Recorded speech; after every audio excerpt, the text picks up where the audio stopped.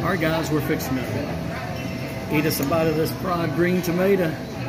Whistle Stop Cafe.